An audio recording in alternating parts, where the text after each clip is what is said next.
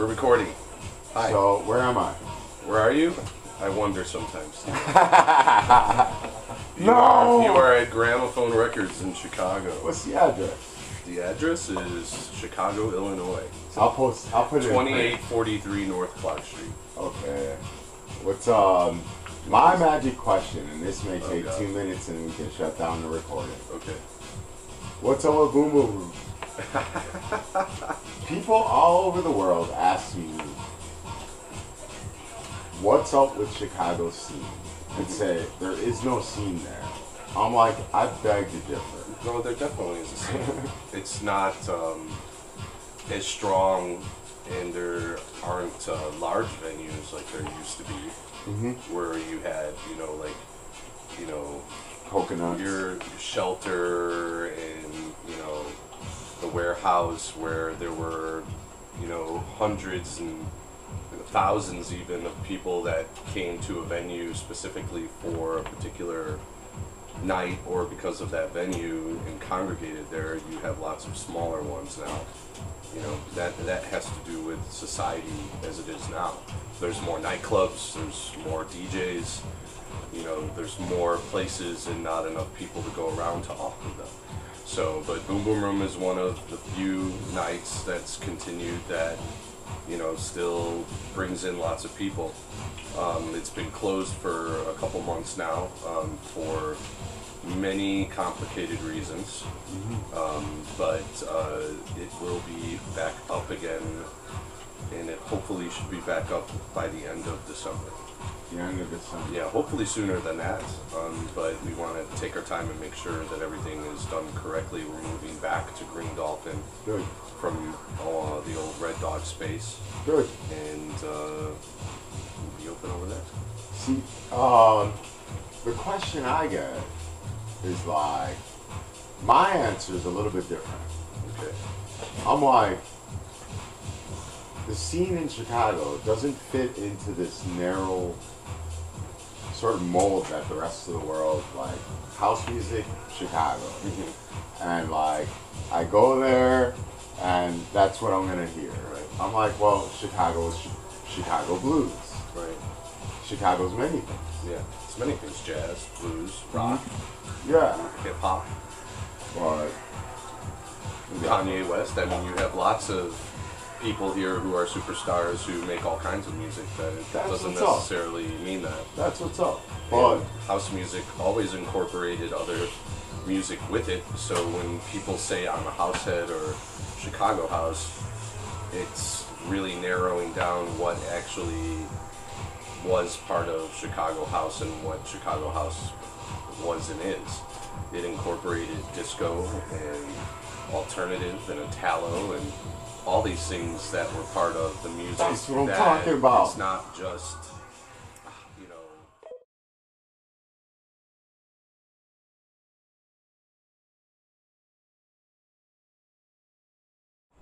An inbound train toward the loop will be arriving shortly.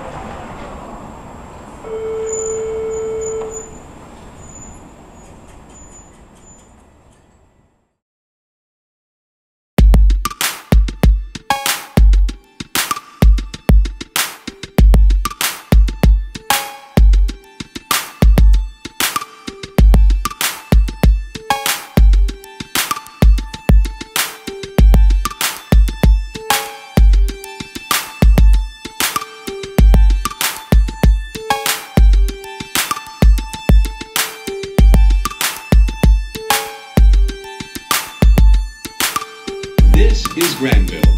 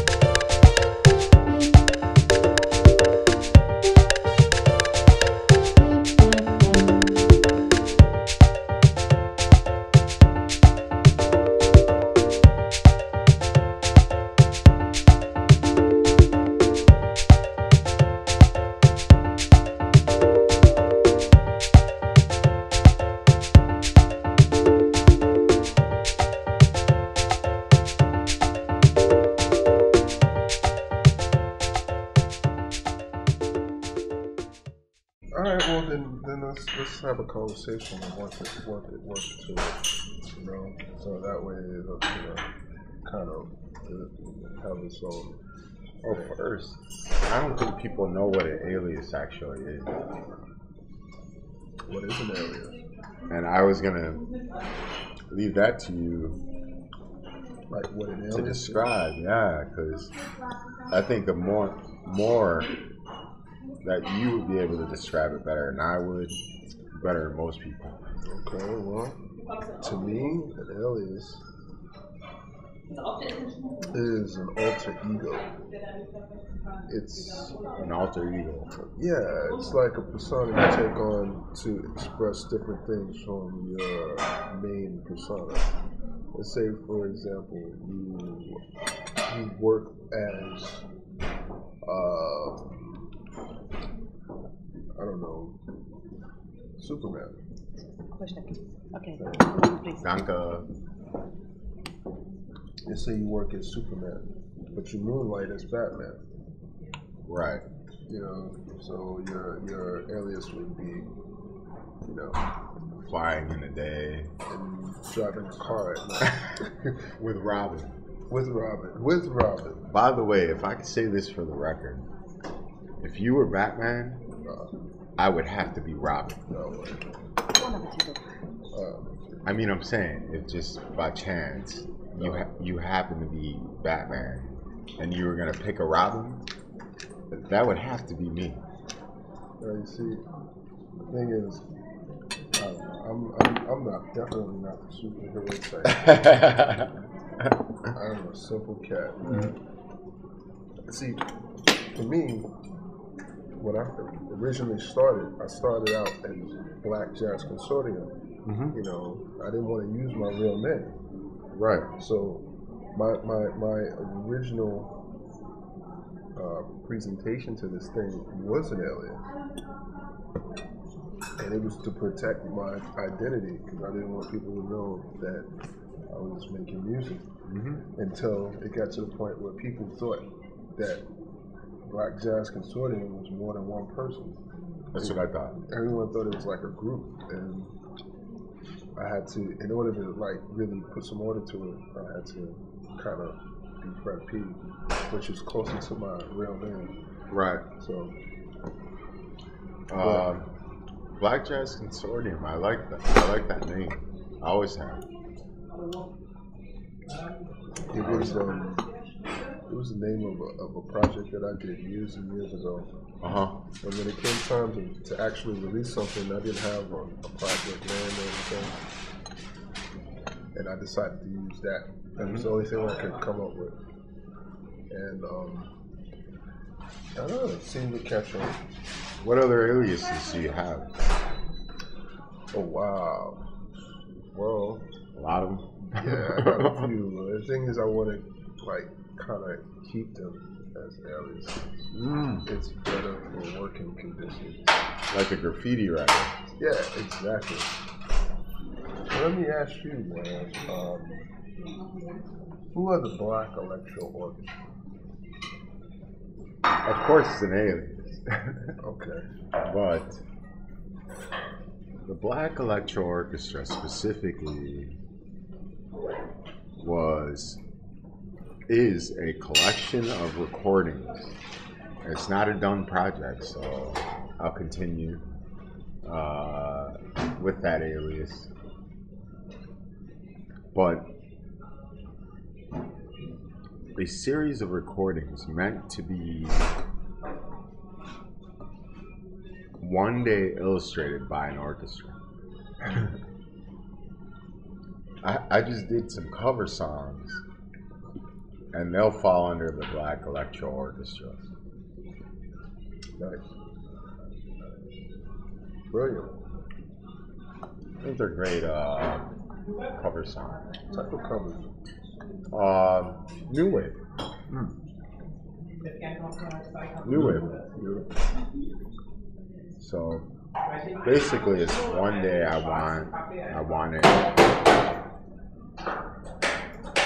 One day I want an orchestra, a full 100 piece orchestra, to pick up the material and rework it and play it for someone. Mm. you know. Hopefully, one, that one day will come. I'm sure it will. Thanks. No, thank you. Very well. Um, let me ask you, what's Medusa's Chicago? What is Medusa's Chicago? Medusa's. I'd, I'd have to say it's a back one of my backbones. If not the backbone of like me and my life as far as like clubbing, going out to parties. The first place we went was called Medusa's. and at Medusa's, when I was 11 years old, Wait a minute. You were 11 years old? everybody was 11. Or in the clubs? It was a teen night. Wow. It was a teen night, and uh, my friends they begged me to go, and I was scared. And that reason I was scared was because I'm black, and uh, it was considered a. It wasn't considered a black nightclub. It was considered a white, more more along the lines of white nightclub. Well, in Chicago, you had like this division of what you listen to based on your color. And if you were to define those lines, you wouldn't put a black person at Medusa's. This is just the stereotypical. But nonetheless, I went. 'cause my friend, all my friends begged me to go. I finally went, and I never stopped going. I didn't stop going until '92 when they closed. But uh, everyone was 11, and um,